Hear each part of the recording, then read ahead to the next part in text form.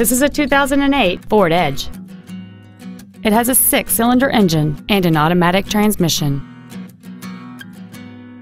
Its top features include a multi-link rear suspension, a low tire pressure indicator, big 18-inch wheels, and traction control and stability control systems.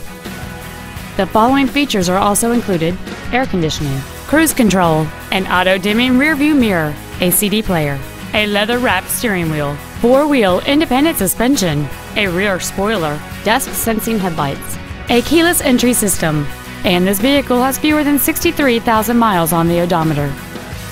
This vehicle is sure to sell fast. Call and arrange your test drive today. Thoroughbred Ford is dedicated to doing everything possible to ensure that the experience you have selecting your vehicle is as pleasant as possible. We are located at I 29 and Barry Road in Kansas City.